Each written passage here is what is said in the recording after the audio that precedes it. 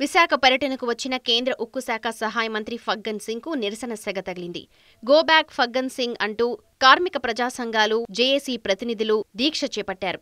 ఉక్కు పరిరక్షణ పోరాట కమిటీ చేపట్టిన ఈ రిలే నిరాహార దీక్షలకు నేటితో ఏడాది అవుతూ ఉంటే ఏ ముఖం పెట్టుకుని మంత్రి విశాఖకొస్తారు అంటూ తీవ్ర ఆగ్రహం వ్యక్తం చేశారు.